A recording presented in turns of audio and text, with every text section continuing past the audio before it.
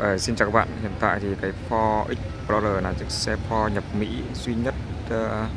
tại thị trường Việt Nam được uh, phân phối chính hãng và hiện tại cái xe này đã về đến đại lý của chúng tôi. Uh, về thiết kế thì rất là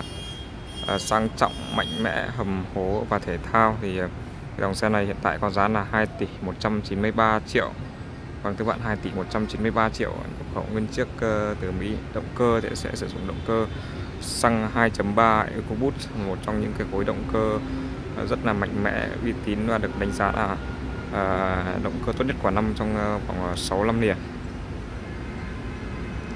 Hiện tại cái Ford Explorer 2019 này thì tất cả là có một phiên bản thôi và có bốn màu à, bao gồm màu trắng này màu đỏ màu đen và màu xám và có tất cả bốn màu thì ờ, về giá cả, sách bán hàng và màu xe thì ờ, tôi mời ờ, các bạn có thể liên hệ trực tiếp cho tôi theo số 0902 157 666 tôi xin đọc lại là 0902 157 666 tôi tên là Bảo Đại thì các bạn có thể liên hệ trực tiếp cho tôi để tôi có thể hỗ trợ các bạn về cái chính sách bán hàng, về cái giá cả của cái dòng xe này.